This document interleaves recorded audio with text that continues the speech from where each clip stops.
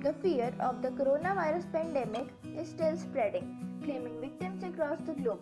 Yet, it seems to have certain positive effects. Air quality levels in the world's major cities improved dramatically in March and April, encouraging one to hope that the global society may be able to reduce greenhouse gas emissions noticeably over the long term to mitigate impending climate change past decade or longer.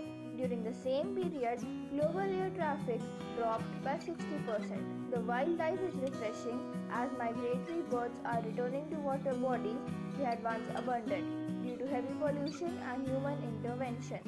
The water of the rivers is now pure. The nature is now healing. To conclude, COVID 19 is Destruction of wildlife and the climate crisis is hurting humanity. With COVID 19, a clear warning shot. Healthy biodiversity leads to healthy environment. This is the theme of World Environment Day year 2020, which is celebrated throughout the world on 5th June every year. This day inspires everyone to fulfill the responsibility to conserve and protect our mother nature earth are experiences the corona pandemic crisis which had occurred due to our excessive need and greed.